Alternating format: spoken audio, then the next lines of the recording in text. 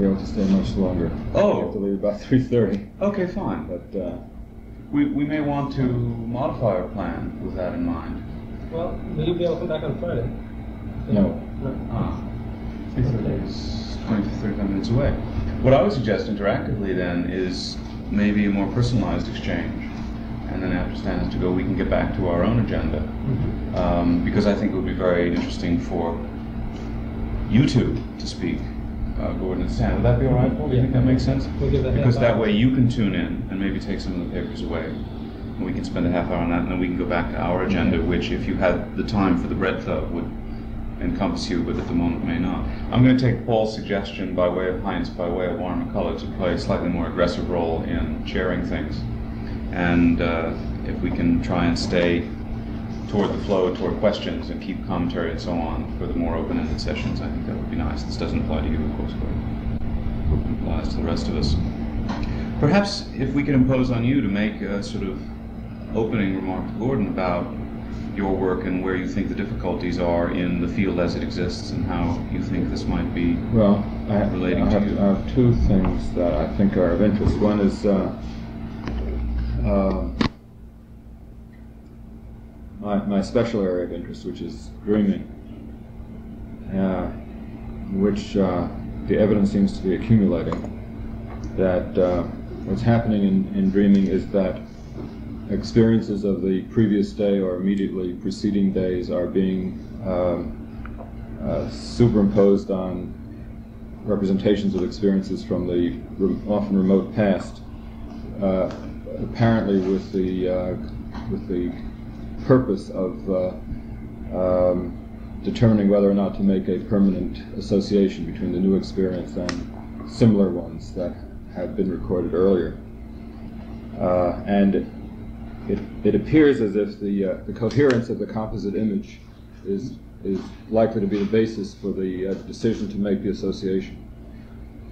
Uh, in, in every dream image, there seems to be a component that's derived from the, from the previous day and another that's derived from the, from the past, often very distant past. Now, I, I have not been able to um, uh, make any really good guesses as to what the criteria for the match might be. Um, they, they seem at times to be rather fragmentary, uh, based on um, geometrical or other formal resemblances. Other times they have to do with uh, with feeling states. Uh, other times with uh, fairly complex cognitive um, associations. All of these things seem to work in, a- in a fairly complex uh, system, and uh, I haven't had any any. Uh, any ideas about how to approach the question of what what it is that forms a coherent uh, image. Now that seems to be very uh, much like some of the questions about when people are agreeing. Uh, what what is the experience in, in each of the two minds that is being matched in the agreement? Yep. And uh, the second uh, aspect of my work that I think is relevant is uh, the, the question in the um, in the interaction between the analyst and the patient as to when they are talking about the same thing uh, and when they're talking about uh, uh, things that are related but not the same, and when they're talking about things that are quite different. Um, it's not always clearly understood. Uh, and in fact, uh, uh, I would say that it, in general there's a very serious obscurity about about this issue. Uh, we have a we have a pretty good idea of what happens in the overall organization of a patient's uh, view of himself in the course of a treatment that lasts uh, months or years. But we have very little idea of what the contributions are of each of the particular moments in the relationship to that overall change. because there's the, um, well, first of all, there's the problem of resistance. Um, the patient, uh, uh, the, the patient is, is uh, trying to conceal and reveal at the same time. and um, um, whatever the analyst says is going to be uh, threatening to his uh, current uh, view of himself and in his world, uh, to some assumptions in, in his in that view that are frightening to him, and he has to. Uh, he has to find some way, the patient does, of uh, taking in what the analyst says without allowing it to disrupt what he's already got organized in his mind. Uh, and there, there must be some, some process of um, matching that doesn't work by a direct um, identity, but through some kind of um, uh, uh, what's the word? Uh, a, Congruence? well, a, a collateral kind of uh, of interaction of meanings. I was thinking of the image of uh, uh, the the healing process after a, a myocardial infarct, where Mhm. new blood vessels grow around the damaged area. There seems to be something like that taking place uh, conceptually. It, it isn't that the patient's mistaken notions of himself are changed so much as that there are new pathways around them developed in the course of the interaction with the analyst. And we, we are very much in the dark as to how that happens. uh, but uh, I can see that uh, Gordon is, is dealing with issues that are very close Yes. to, to those. If I could just interject. Yes. So, so I think in some ways is the participant in our conversations on Wednesday who you want to meet at some time, Deborah Tannen, who's the linguist at Georgetown, Mm-hmm. who has studied discourse theory and its problems and specialized in part in doctor-patient conversations. So you might have some things in common with her. Well, doctor-patient conversations are useful for a study because they uh, they tend to have a fairly clearly defined uh, gen- general area of, of uh, interest uh, between the participants, and that's why the why uh, Weizenbaum's program seemed to work so uh, spectacularly. Eliza. Because the- Famous Eliza. the famous Eliza, because the doctor doesn't have to know anything about the world. Um, what did Weizenbaum, what does Eliza do, or anything like Eliza do? Tell me, Stan. what does Eliza do? Hmm. I mean, supposing you were to ask what was going on with that utterly trivial program, which it is utterly trivial, you know, and Weizenbaum is the first to agree. It was a kind of useful, useful joke. Uh, in a sense, it wasn't a joke. He didn't intend it as a computer science joke.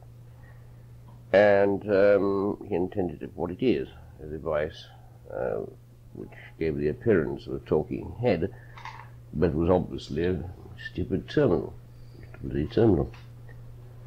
Uh, so that people would do something with it. Well, And it, uh, it does the very minimal to sustain the appearance of being a talking head. yes, I think it's very interesting that it, that the appearance is so uh, um, so convincing. Well, With so with so little actual work being done. True. I mean, somebody was mentioning that um, reflection of one sort or another, or of that matter, dialogue between different entities rather than reflective dialogue, might well take place with some very simple um, symbols or arrangements in the environment. Uh, mirror, for example, was noted amongst other things. Now, um, true. Uh, what would you say that Eliza was up to? I mean, what is actually happening when I don't know what Eliza is doing? What what is happening when a patient goes or a client goes, uh, possibly going to what it's doing in a very primitive way is keeping track of what the the other party in the conversation is saying. Mm-hmm. And I, I think, from my point of view as an analyst, that isn't trivial. I mean, the particular implementation of it Yeah, the idea is, a, is an important one because I, I have the impression that a lot of what I'm doing is is uh, keeping track in a, in a more sophisticated way of things the patient has said repetitions that he's made, connections that he's made that he doesn't realize. And a lot of what I'm doing is is um, recording that and uh, putting it together and feeding it back to him, so that he's aware of. Uh, uh, of, a, of a pattern, of an overall pattern in his uh, in his way of explaining what he's doing in his life. I feel certain you're right. Um, but who is the other participant? I mean, neither Eliza nor you in your observational mode are participating. The statement is absolutely the case insofar as Eliza or something is concerned, because Eliza, poor thing, is, is designed so that it can't. It can just record, at most, uh, some rather trivial utterances, and it can in no way interpret them, excepting do parsing statements. Um, you, uh, it's not quite the case of you, because you are setting apart some department of your head and uh, acting as an observer with it. Um, even so, you can't do this quite completely. No. And you're bound to take to interpolate to some extent. In either case, if you like, then who is, who is conversing? With whom? Well, um, I'd like to postpone that for just a, okay. a, a, second. I think what I'm doing when I'm interpolating is uh, trying to fill in the gaps in what the patient is saying.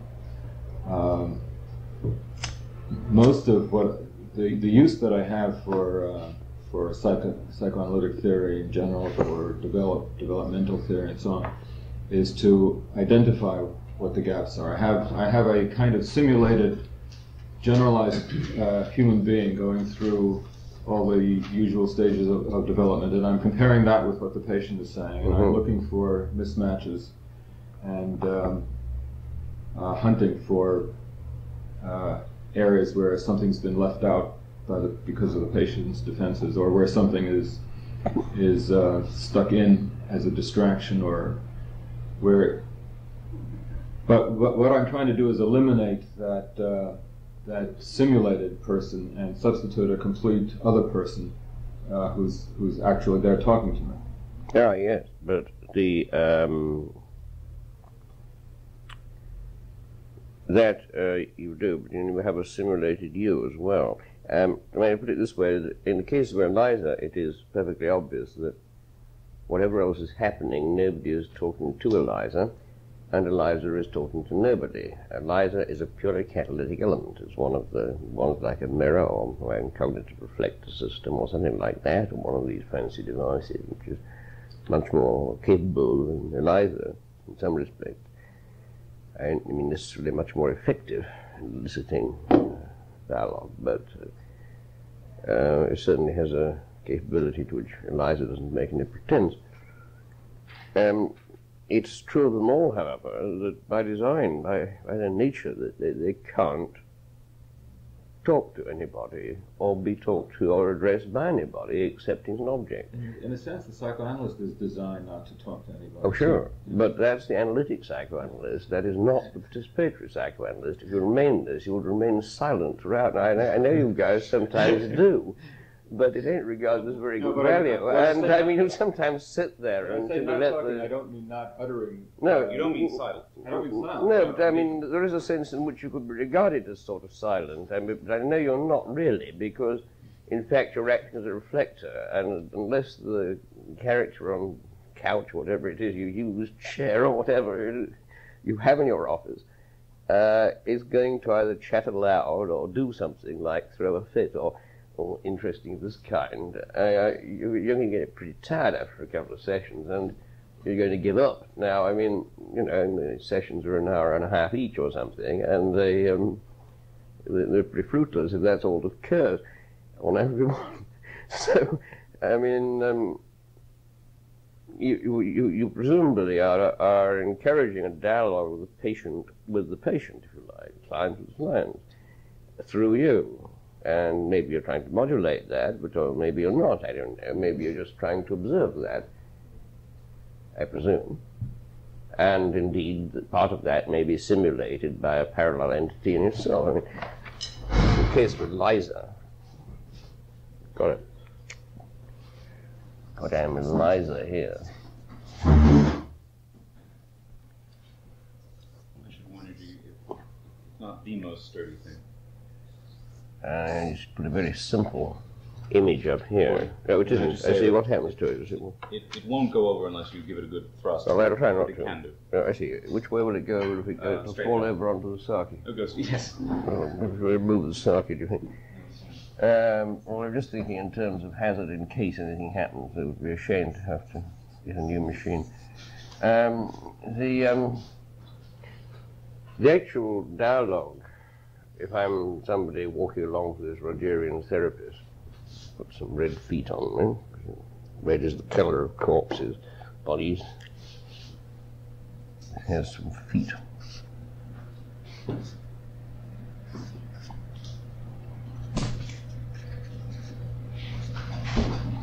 Use black too.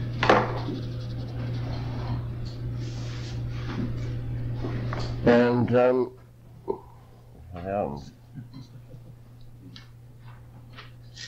um, determinate. Now, the actual flow of data, I, I will ask you here to agree or not to agree with this statement. There's no reason why you should agree. Um, and this.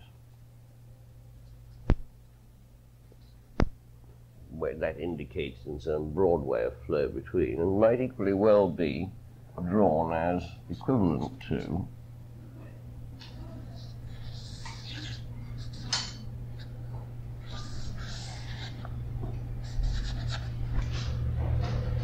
Uh, this is inside the. Uh, that's inside the, the Eliza's patient. Yes, Eliza's patient. Right.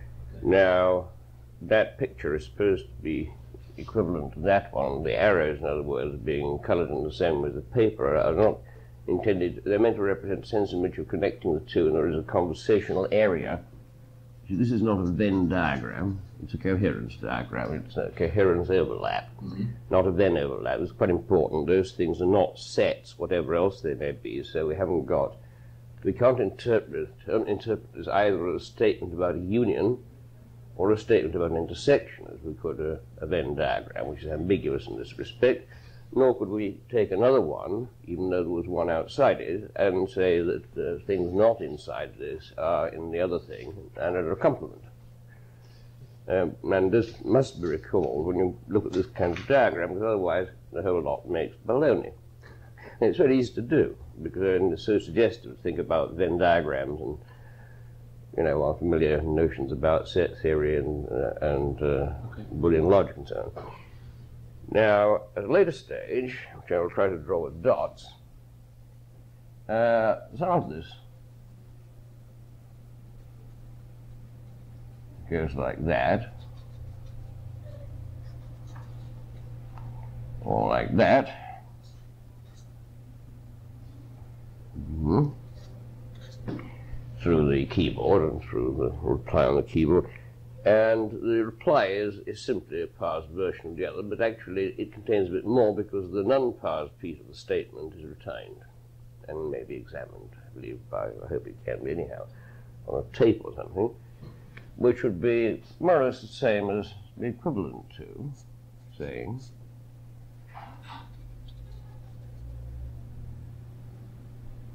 um, very trivial little bit out here of the joint overlap of two. It looks a large bit, but actually it's a very trivial bit. Sorry, G, which one is that one now? It's equivalent to that, to this later one. But how is it different? I'm sorry. Yes. Well, I've said that that is equivalent to that, mm-hmm. or if you prefer to draw it in that, if you prefer to redraw this No, no later problem. dotted one in these terms, then the dotted one is equivalent to that one. right, but what does the the dots. mean now, the equivalent here? It means that A and B are still inside. Their overlap is really still inside, but a little bit of a reflection of that overlap goes to Eliza, and it's fortunate with one means of establishing an overlap. all right. Well, what, what's your? Or you could equally well draw it as a flow diagram for those events called information transfer, which are giving rise to concurrency and happen in this case to be trivial insofar as only their pose, the paused reflection is turned back, paused and slightly, you know, added to reflection. Um, would you agree with that? Well, Eliza is certainly acting as a catalyst to an internal dialogue in the Okay. other person. So, okay, do. and to a considerable degree, so is the analyst. good. Now, here I would suggest we have a model which might uh, make sense of the analyst, the primitive model. They both have, well, they can have different sorts of hats.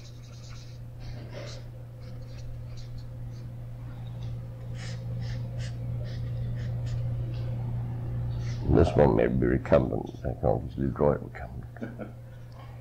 Um, I say, depending on your particular technique. I will use the convention easier of something like this. A primed. No, I, no, I'll use- I'll use A, B, C, and D as letters. B, C, D, at least in the analyst. At least in client or patient. Um, OBS. This is the analyst. That's well, well, I don't know. I think analysts ought to be drawn in blue, actually. They're not machines. No, this person. This is personal? Um, and there is a, a very thoroughgoing interaction of roughly this kind going on.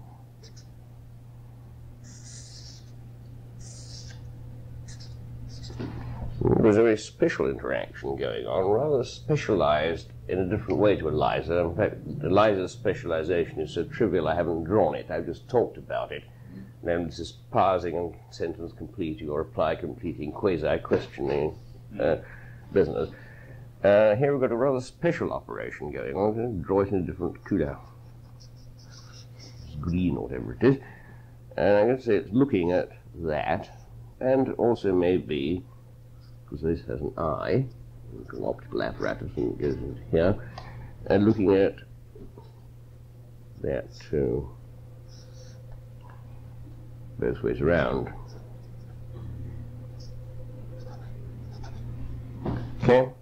Now that I mean, the whole thing is actually is, actually well, just draw it in the same convention.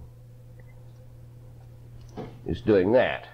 Uh, now it may or may not do that, depending on whether you make notes or draw diagrams as I do. Some psychiatrists use one method, some use another method for recording convenient way the kind of relational map they get uh, out of anybody, particularly when they're talking about dreams uh, rather than when they're doing dreaming. They may, in fact, be in a state of uh, hypnagogic state in which they are actually doing dreaming too, incidentally. In this case, I haven't included in, in, in the picture.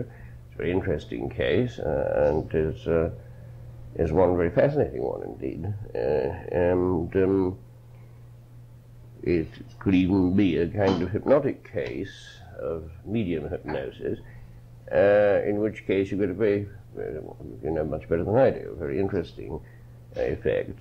Uh, or more commonly, it's a sort of hypnagogic state uh, of suspended um, critical animation and uh, fixation upon the situation or upon the topics proper to the situation as suggested.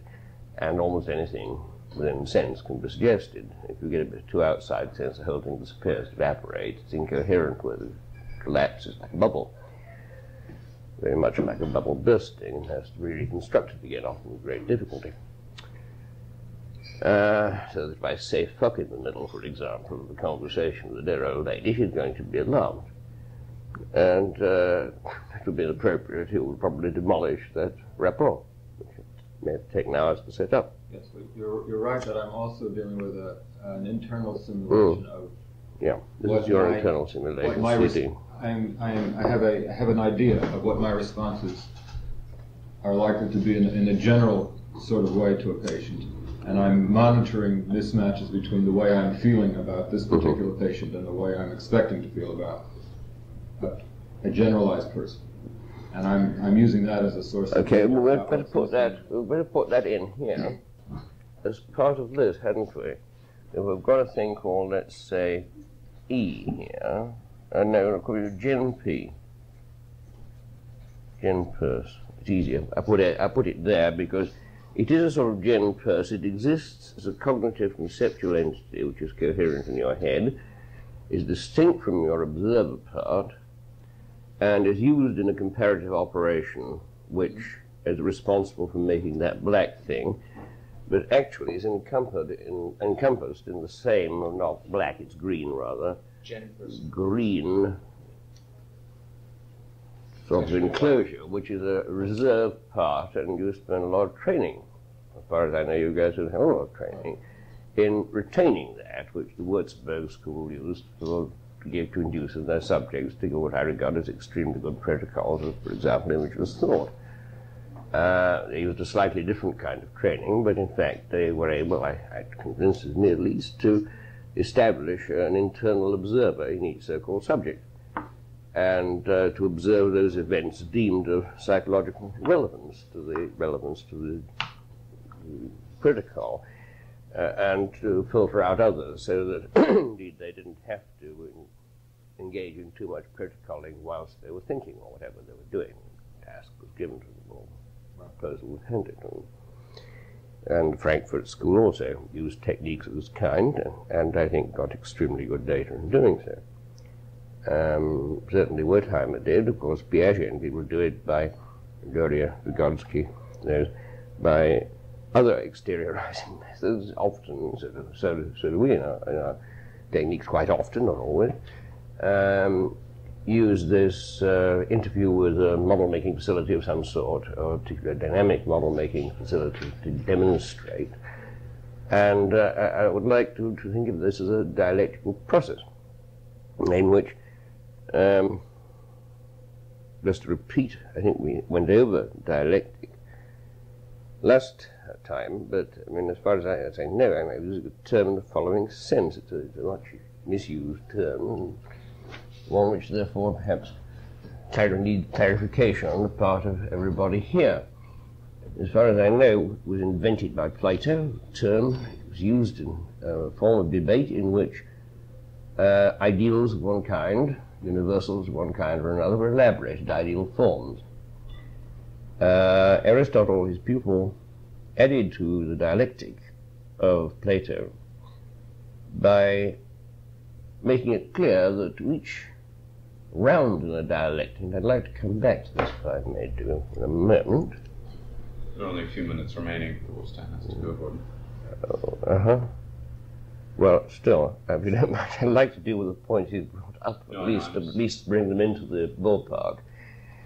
And um, the the term then went that, that, that, in fact what I mean by round of dialectic is very much what Stein Bråten means by meaning tight occasion.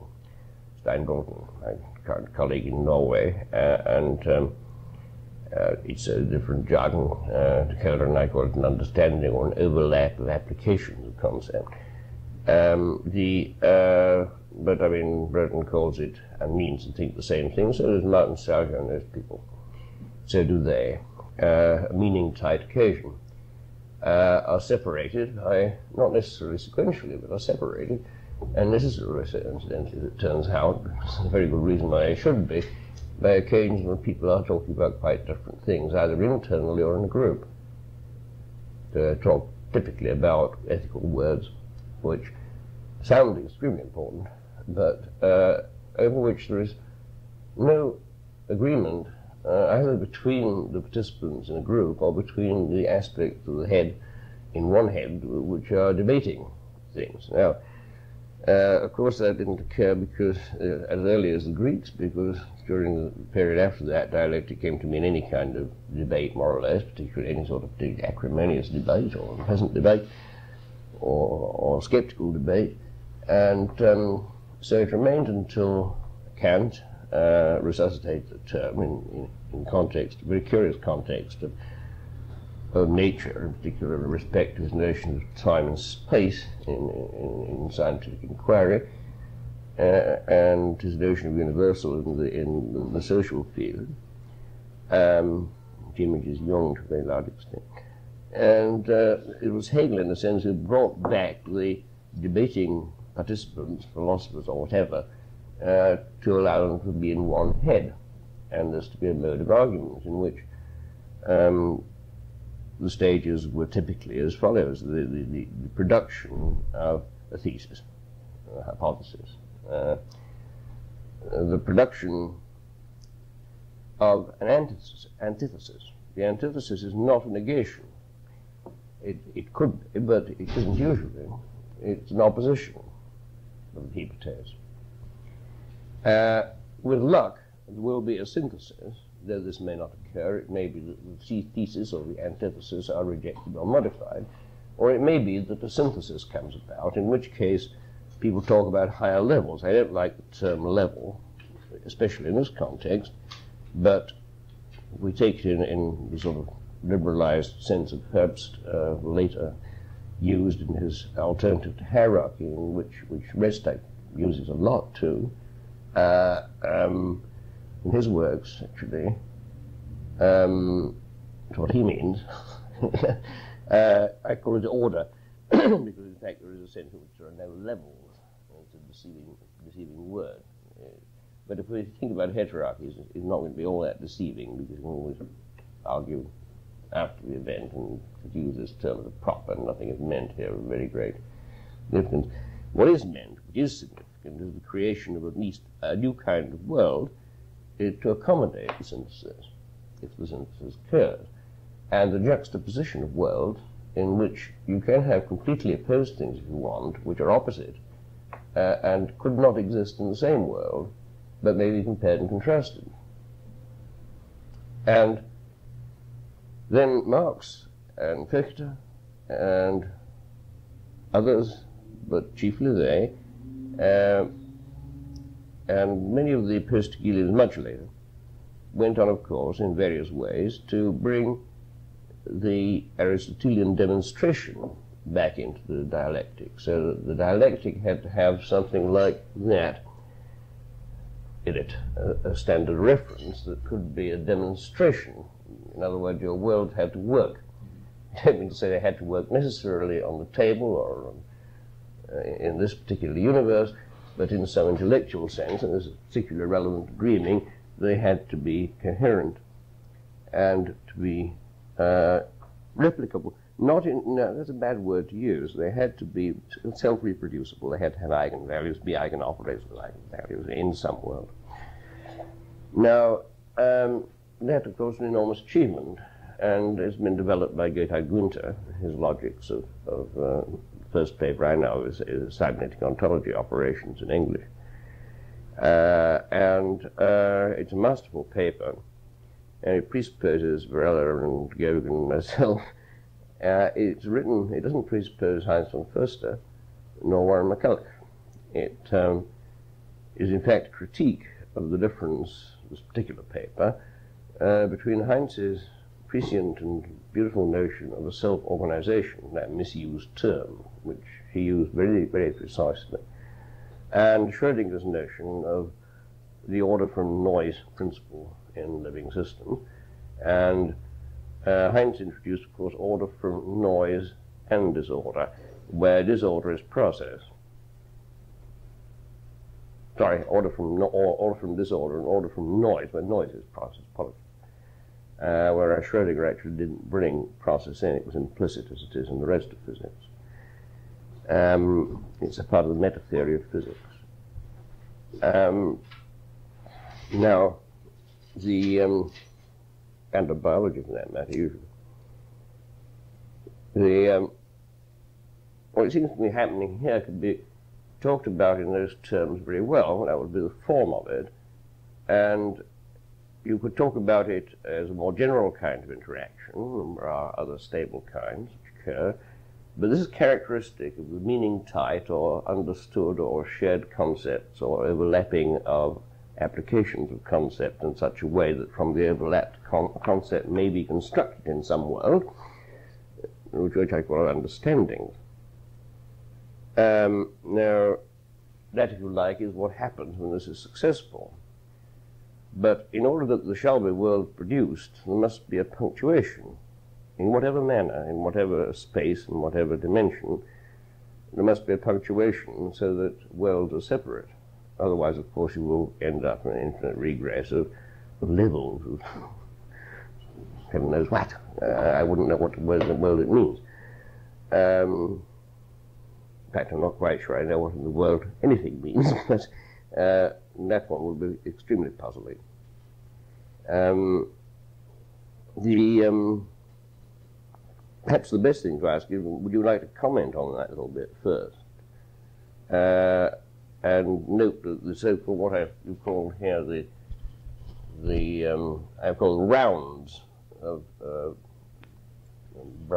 rounds, which well, he I, I, would say uh, that dealt uh, with as well. part of the problem in understanding uh, what's happening in the analytic situation is uh, that the signals are not very clear as to when the changes have taken place, No.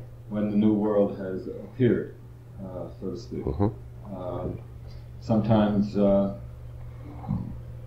uh, the patient goes out of his way to uh, disguise the fact that something has made an impression on him. Often he does that. Mhm.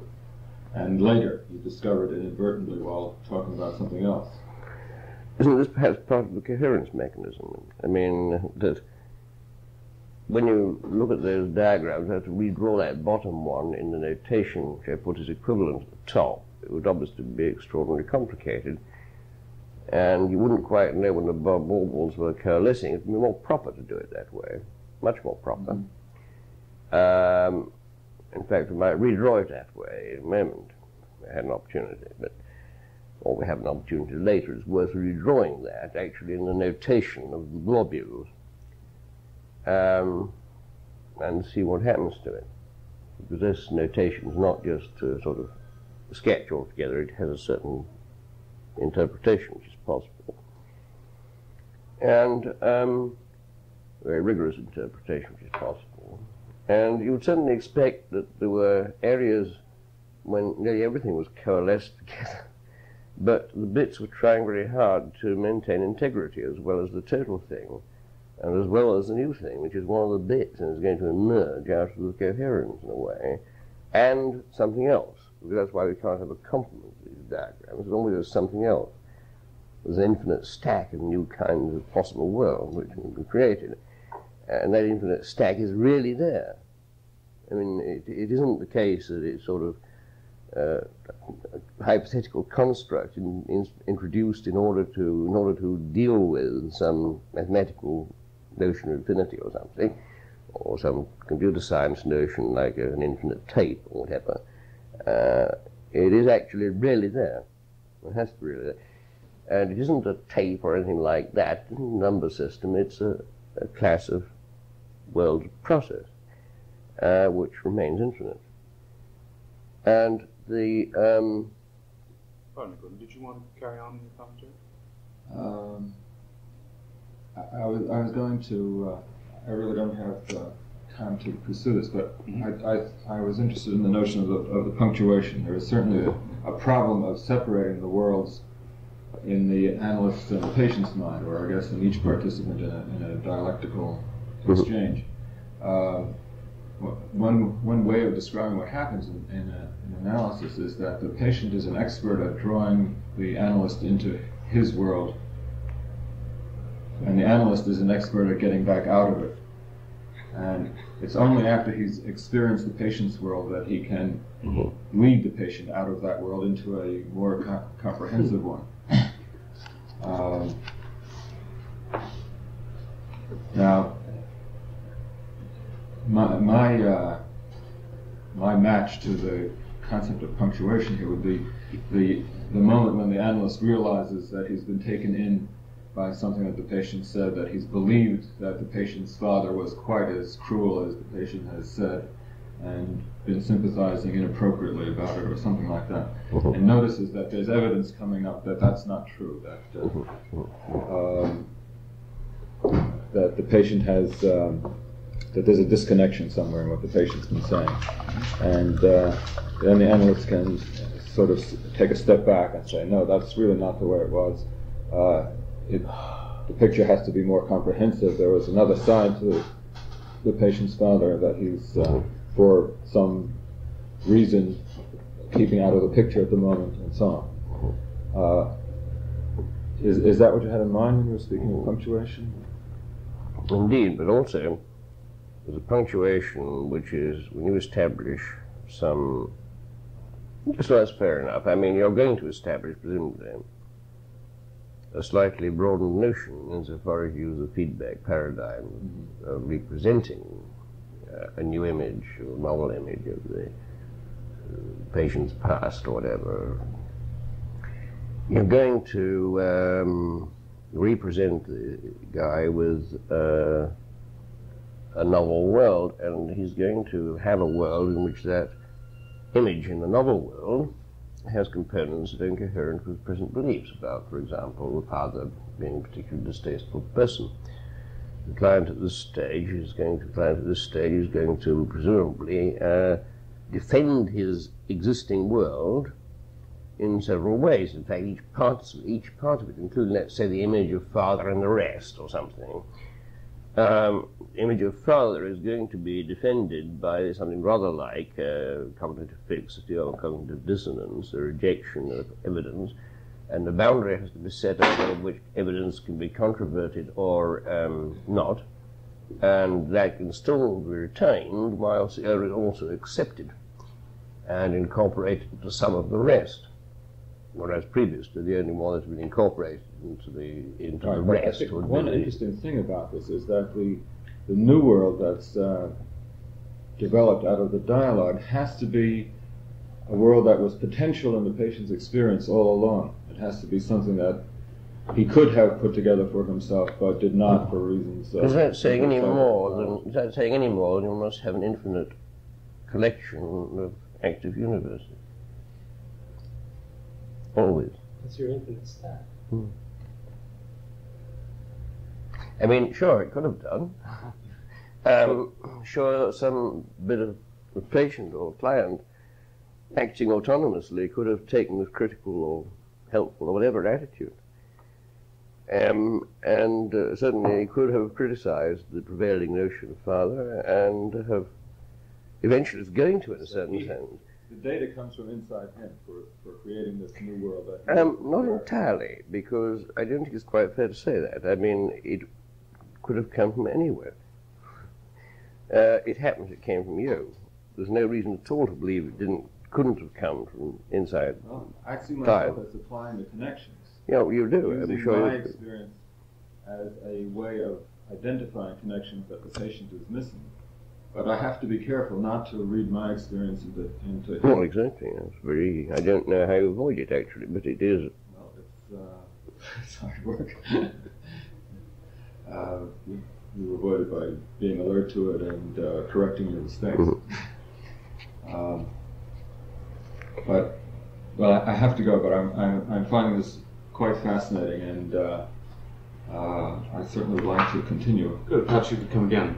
Uh, yes, On another occasion. Certainly like to do that. You say you're not available this week, but perhaps no, next. Uh, I'm, I'm going to be away starting next week. I, I didn't I have see. enough time to And- plan this out. And when will you return? I'll be back uh, on Labor Day. Why don't you phone us? I think Gordon will still be in town. Then we have a trip to Montreal, but other than that, we'll be back again. And it would certainly be possible to make uh, a session just us. But if there are other sessions that are scheduled for then, we could do that as I think it well. would be Be wonderful. particularly worthwhile after uh, your return, and we've worked out some base ground ground Very good. here. Do a session on this, and maybe have one or two other people interested in in that particular. Did, did, did, did you learn anything from this? Oh yes, sure, Because I did. sure I did. Wonderful. And at that time, I can uh, point up some other materials. But this will be a very nice overview, fine. and I think we'll show you the general case, and then we'll work from there. Okay. Thank you for coming. Thank you very much. Very nice Thank you for coming along. Hope to see you soon. Do you need things about the way out? Him too, really.